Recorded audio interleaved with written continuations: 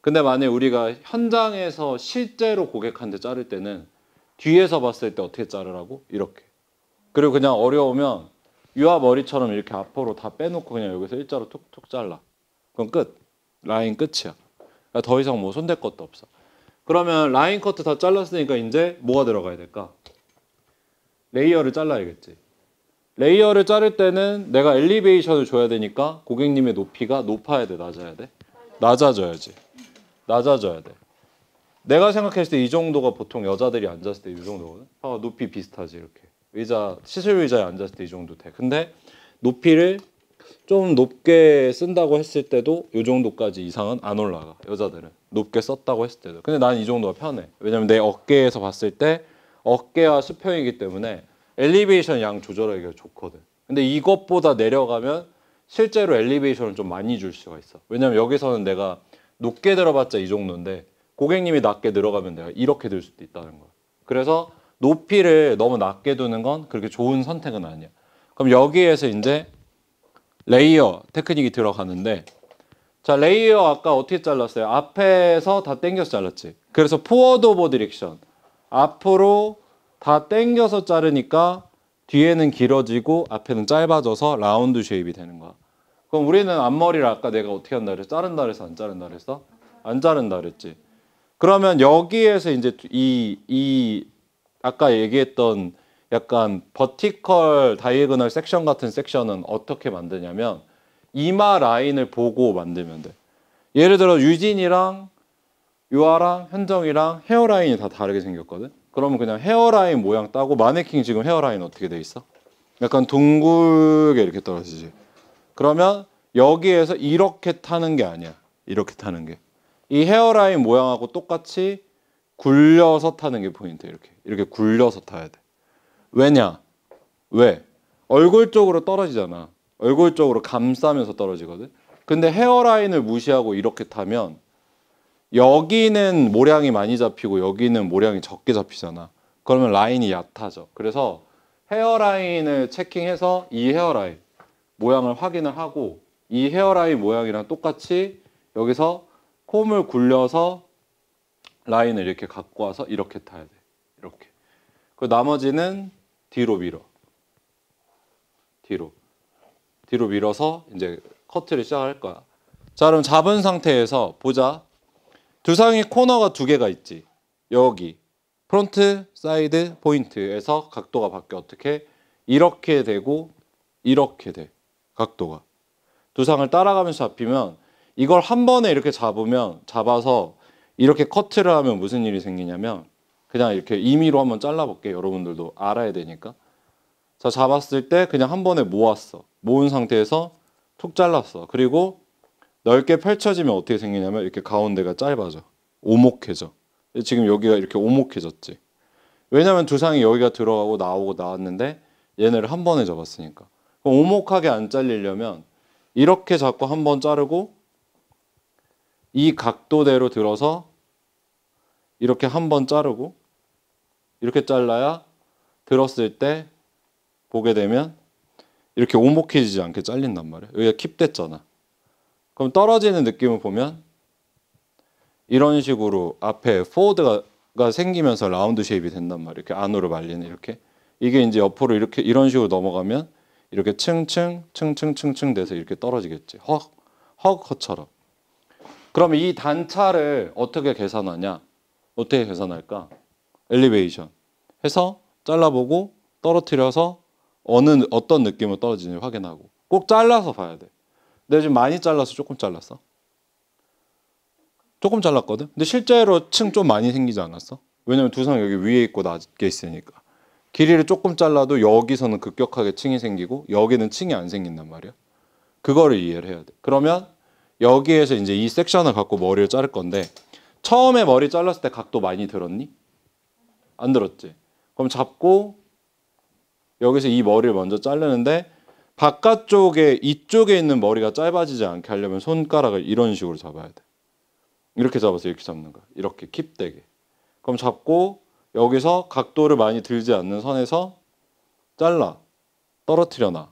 그 다음에 옆머리를 잡고 자르는데 가이드를 살짝 갖고 와서 갖고 오는데 자, 이렇게 갖고 오는 게 아니라 머리를 틀어서 여기서 호리존탈로 자르는 느낌으로. 어떤 느낌이냐면 머리를 여기서 호리존탈로 자르는 느낌을 이렇게 자르는 거. 이렇게 자르는 게 아니라 이렇게 자르는 거. 이렇게 자르면 이 머리가 킵이 많이 안 돼. 근데 이렇게 해서 갖고 오면 여기가 더 잘 킵되겠지. 중요한 건 여기가 짧아지면 안 되는 거야. 그러니까 여기서 잡았을 때 그 다음 섹션 잡고 손가락을 살짝 빼서 킵해 준 다음에 연결해서 커트. 그다음에 떨어졌을 때 여기서 지금 떨어지는 층감을 이렇게 체크. 이렇게. 층감을 체크. 그럼 여기서 C컬 드라이 하면 더 점핑 되겠지. 이렇게. 이렇게. 이렇게 점핑 되겠지. 그럼 이 정도 잘라야 된다는 거야. 그래서 내가 생각했을 때 이렇게 들어서 이게 툭 자르면 정말 많이 짧아진다는 거. 그냥 살짝만 기장을 정리해 준 느낌으로 가서 여기서 이 친구들 잘라주고 자 두 번째 섹션이 진행돼. 첫 번째로 섹션 잘랐을 때 어떻게 잘랐어요? 좀 그라같이 최대한 다운해서 잘랐죠. 제가 들어서 잘랐나요 지금? 최대한 낮췄죠. 다음 섹션 진행됐을 때는 잡은 상태에서 똑같이 패널 갖고 오는데 몸이 바깥으로 이렇게 빠지면 안 돼. 무조건 가운데로. 센터 파팅이랑 수직으로 머리카락 떨어지게 잡는데 이번에도 잡았을 때 아까보다 아까 이렇게 잘랐거든. 이번에는 살짝 들어서 자 이 뭐야? 이쪽에 손 살짝 빼서 킵해주고 이렇게 잘라. 그 다음에 얘 버리고 나머지 갖고 와서 커트하는데 이렇게 콤을 틀어서 이대로 자르는 게 아니라 콤이 나를 보고 수평으로 잡게끔 잡아서 여기서 손가락 이쪽 빼주고 잘라. 몸의 위치는 변하지 않아. 그래서 내려서 층감 체크 이렇게 층감 체크 됐죠? 그럼 다시 잡은 상태에서 뒤쪽으로 이동하는데 내가 처음에 나눴던 섹션 그 느낌 그대로 가는 거야. 어떻게? 둥글게 굴려 수직으로 가는 게 아니라 여기서는 점차적으로 이제 들어줄 건데 저 flat layer처럼 들어. 그 다음에 손가락 살짝 꺾어서 keep되게 잡아서 잘라주고 다시 버리고 다시 갖고 와서 두상보다 높게 들어져서 horizontal 끝에 빼고 커트. 떨어졌을 때 단차 느낌 체크. 어떤 느낌을 떨어지는지 체크. 이렇게 지금 떨어진단 말이야. 음. 아까는 짧아서 그런 거야 짧아서 그리고 너무 처음부터 많이 들어줘서 근데 점차적으로 가볍게 들어주면 별로 그런 영상처럼 약간 락커 같이는 안 된다는 거죠. 그 저렇게 한국 사람들 머리 잘라주면 여러분들 매장에서 퇴사해야 된다. 바로 컴플레인이야. 자, 그랬을 때 내가 layer인데 지금 out finger로 잘라 안 잘라? in finger로 잘랐지. 왜? 테크닉이 뭐니까? 여기까지 뭐였어? 그라까 여기까지 graduation이었으니까. 그럼 여기에서 layer 자를 거면 여기서부터는 layer만큼 많이 들어준다면 out finger로 잡아서 자르는데 손을 이렇게 빼서 내가 자르려고 하는 부분이 이쪽이 잘리지 않게 바깥쪽이 짧, 짧아지면 이렇게 이렇게 파먹어 이렇게 이렇게 이렇게 파먹어요. 그래서 손가락을 이렇게 빼야 돼 바깥쪽으로. 그리고 발을 이렇게 움직이면 또 파먹어. 차라리 안쪽으로 이렇게 들어가는 건 괜찮은데 바깥쪽으로 빠지지 않게. 그리고 밑에 머리 다 잡고 갖고 와서 여기서도 자 out finger로 잡아서 여기 이제 자를 게 많이 없다. 그러면 잘릴 부분 커트. 그리고 나 같은 경우는 여기서 어떻게 하냐면 어차피 여기까지 자르면 이 기장에서는 이제 뒤에 머리가 자를 게 별로 없거든. 그러면 잡았을 때 센터 파팅을 나누고 자 여기에서 세부적으로 나누진 않아. 왜? 왜일까?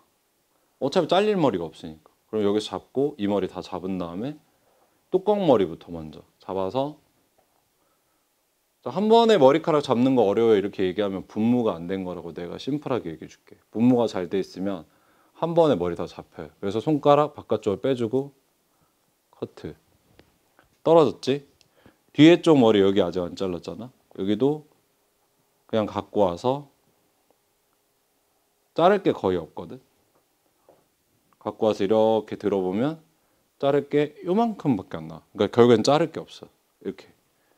그럼 떨어졌을 때 떨어지는 느낌을 보면 우리가 약간 허그컷 자르는 느낌처럼 떨어지듯이 이런 식으로 떨어진단 말이야. 자 기장 어느 정도 자를지 알 수 있어요 없어요? 있지 반대쪽에서 잘랐잖아 서연아. 여기 가이드 있잖아 얘. 예. 그러면 약간 까리까리하면 가이드를 갖고 와 어떻게 잡아서 이게 대고 내려서 여기 길이에 맞춰서 톡 자르면 돼 이렇게. 그럼 이 가이드 보고 이제 자를 거다. 두상 코너 여기라고 했죠. 잡아서 내린 다음에 자 손가락 살짝 바깥쪽으로 여기서 이렇게 되면 안 된다고. 난리나 이렇게 되면 무조건 끝쪽으로 빼준다. 잘라줘. 그 다음에 옆쪽 잡아서 빼서 자 연결 연결 떨어져서 이게 가이드니까 되게 중요하잖아.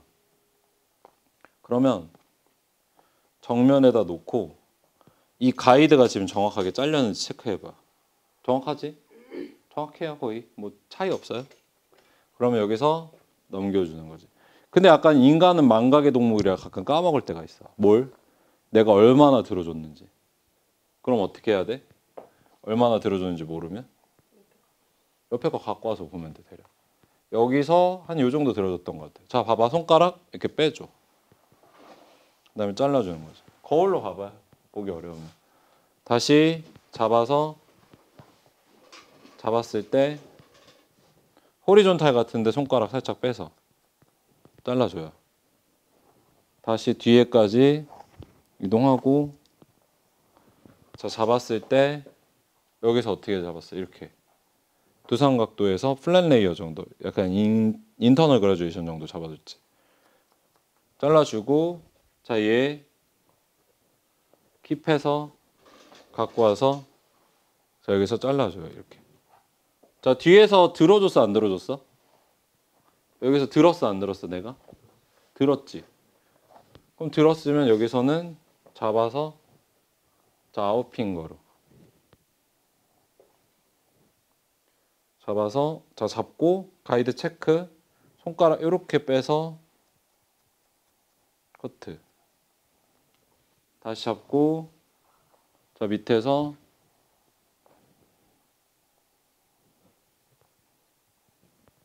잡아서 들어 올려서 자 정면에서 봤을 때 호리존탈 되게 잡아서 커트. 여기 잘릴 게 없지 이제? 뒤에서는. 뒤에서 왜 잘릴 거 없어? over direction 했으니까. 갖고 와봤자 이 이상으로 뭐가 나오진 않는단 말이야. 여기서 잡아서 빼고 요만큼 나온다 요만큼 여기서는 아예 안 나오겠지 안 봐도 비디오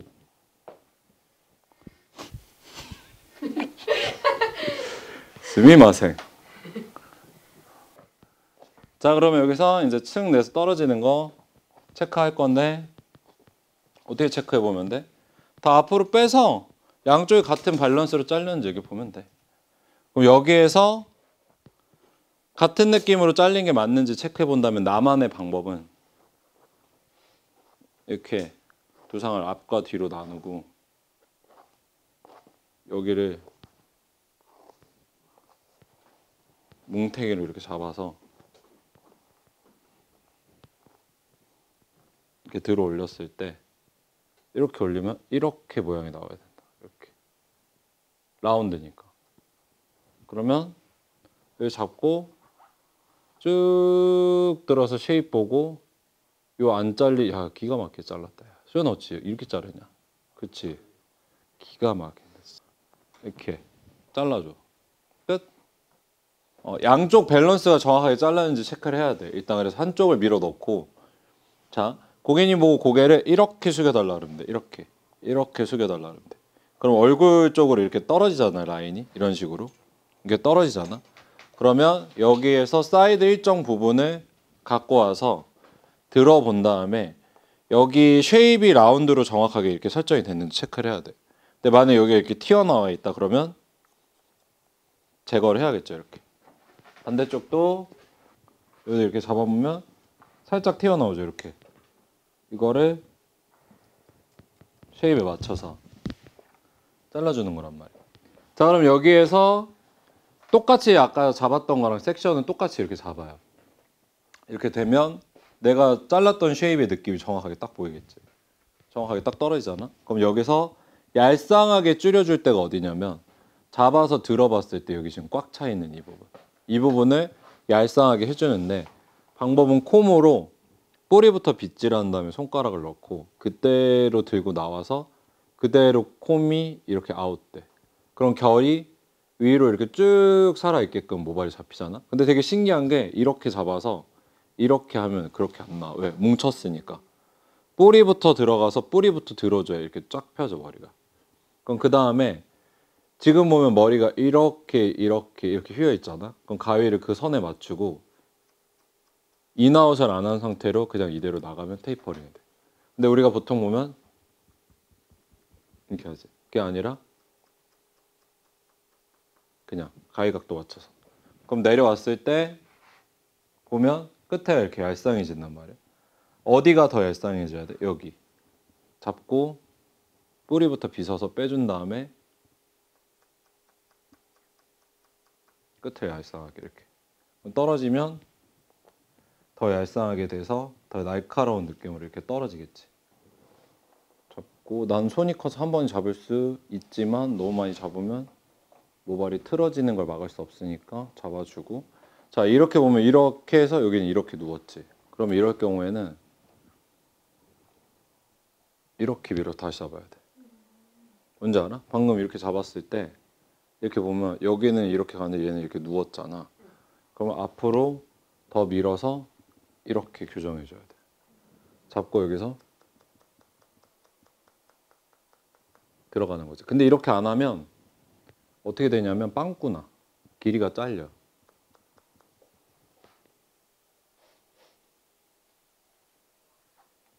이런 느낌으로 돼. 느낌이 달라. 좀 다른데 어떻게 다르냐면 유아는 어, 앞머리에 weight를 좀 주는데 다른 애들이랑 다른 건 딱 하나지. 앞머리가 다른 애들에 비해 상대적으로 무겁잖아. 근데 이 무거운 느낌을 디자인으로 좀 잘 살렸다는 거. 가볍게. 근데 나는 전체적으로 좌우의 밸런스나 전체 밸런스감을 좀 중시하는 스타일이 있어서 스타일이 전체적으로 좀 flat한 단점이 있단 말이야. 난 이런 스타일 개인적으로 좋아하고 주희 같은 경우도 앞머리를 스타일링으로 만든 거. 앞머리가 길지 원래는. 근데 스타일링으로 밀어서 넣은 거. 이런 게 좋고 밸런싱이 지금 잘 잡혀 있잖아. 딱 봐도. 그런 거게 그 자기 디자인의 감성이 있는 거지. 그래서 그런 부분들이 다 통용이 되는 거고 그냥 봤을 때 솔직히 다 예뻐요. 뭐 여기서 망한 머리는 없어. 단 자기의 디자인이 어떻게 담겨 있는지 그런 게 제일 중요해진단 말이야.